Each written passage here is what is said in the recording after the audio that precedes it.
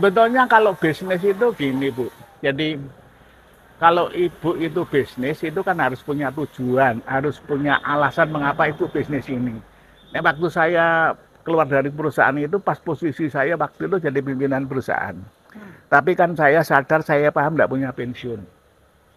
Kalau saya tidak pensiun berarti saya miskin lagi. Sedangkan sejak kecil sudah miskin. Maka saya bilang saya punya tujuan hari tua saya tidak mau miskin lagi.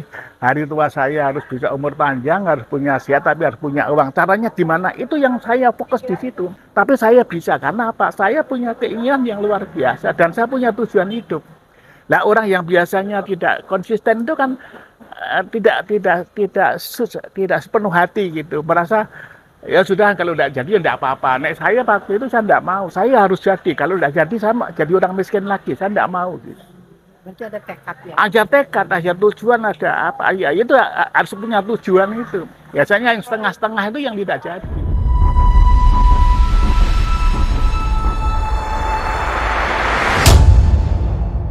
Bapak dengan kunjungan UMKM dari Bojong Sari ini ke Jejamuran. Oh ya, selamat siang. Assalamualaikum warahmatullahi wabarakatuh.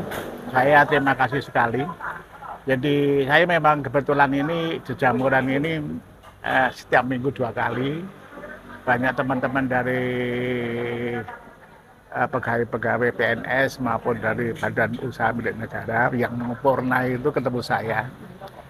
Kita sharing bagaimana belajar kuliner yang dimulai dari kecil, berkembang, tumbuh, dan bisa berkelanjutan.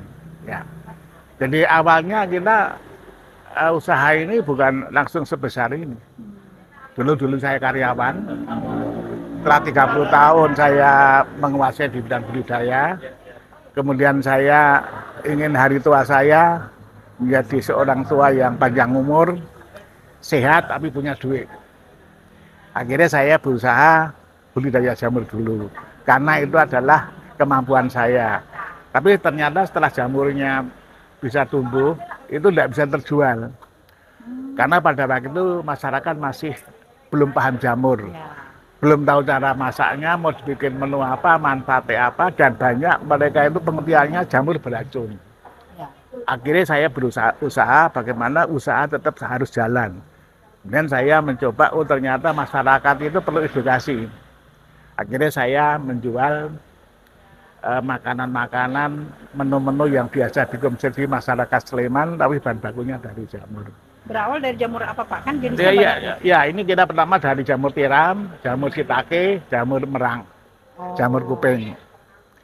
Nah ini kita punya 34 jenis. Ya. Sekarang uh, diolah dari dari jenis jamur itu udah berapa olahan makanannya? Kita sebenarnya uh, bisa ada 44 jenis.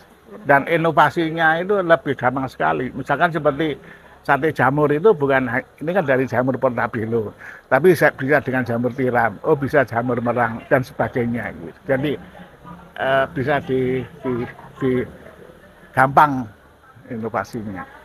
Lah akhirnya setelah uh, mengedukasi, mengedukasi masyarakat ternyata butuh waktu tiga tahun untuk jualan dari rumah ke rumah. Setelah itu baru saya bikin angkringan. Usaha begini udah berapa lama? Itu kita mulai jualan dari rumah ke rumah 2003. Kemudian baru angkringan 2006.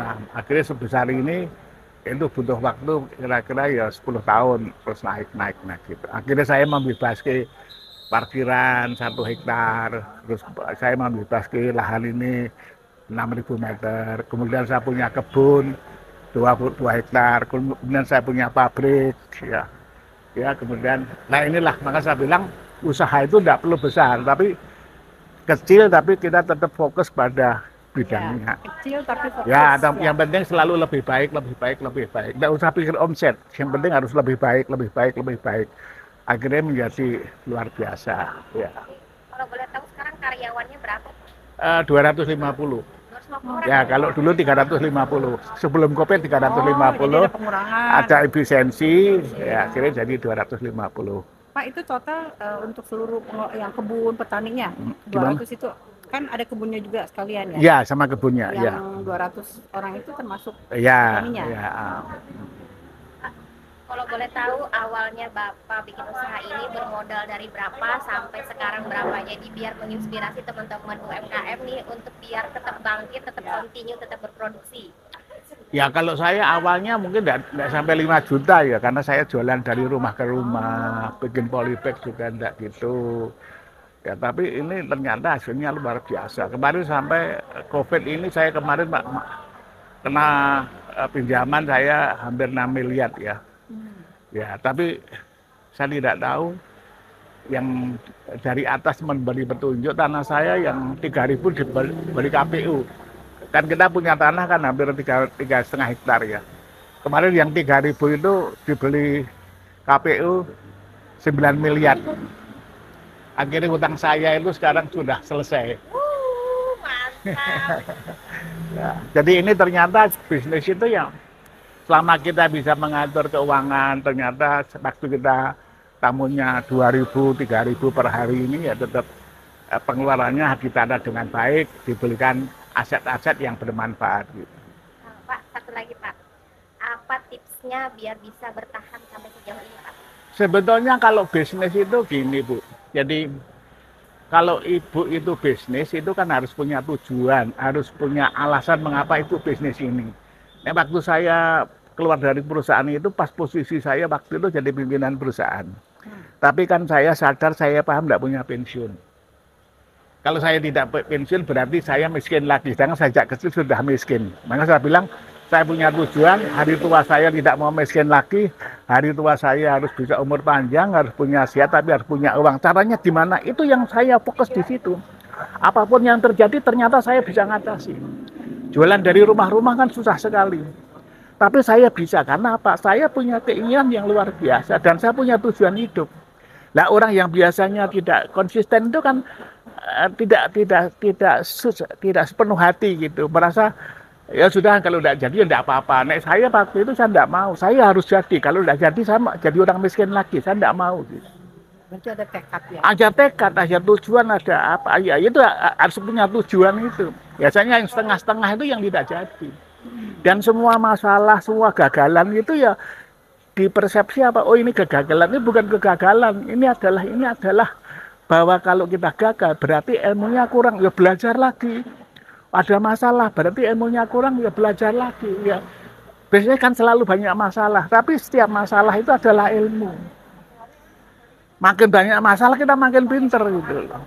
Ya, luar biasa Pak. Terima kasih banyak. Kami berharap apa yang disampaikan oleh Bapak ini bisa menjadi inspirasi buat teman-teman, terutama uh, UMKM dari Depok. Ya, salam untuk teman-teman ya di Depok. Ya, terima kasih Bapak kami sudah disambut Ya. dengan segala yang luar biasa ini Pak. apabila pertemuannya Pak ya. Terima kasih.